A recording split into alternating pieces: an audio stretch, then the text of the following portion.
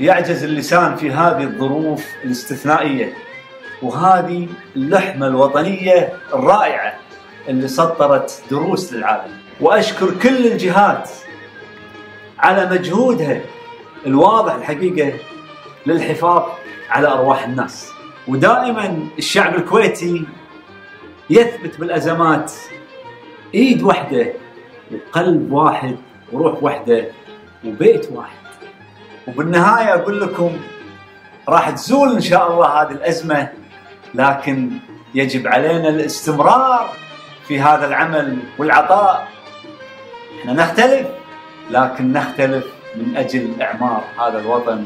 والله يحفظ الكويت من كل مكان. ما